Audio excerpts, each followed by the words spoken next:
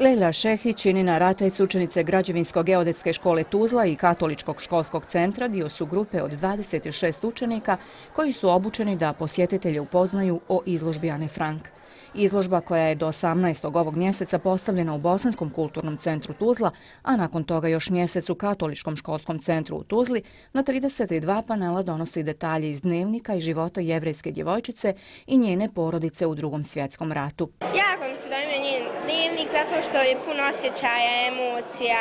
Ne bi nikad mogla u, njen, u njenoj situaciji da bude jer je to jako teško za djevojčicu od 13 godina. Ana Frank je zapravo jedna veoma hrabra djevojčica, jedna veoma, da kažemo, naučena djevojčica, puno stvari je iznijela kroz svoj dnevnik i jedna zrela, da kažemo, osoba sa tako malo godina.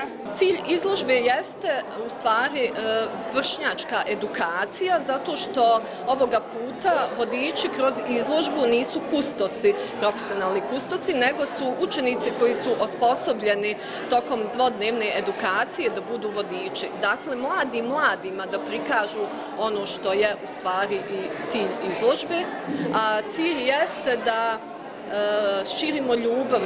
Izložba u Tuzli postavljena je do 18. novembra, nakon toga putuje u Bihać. Da je preživjela Hitlerovu politiku, Ana Frank bi danas imala 86 godina.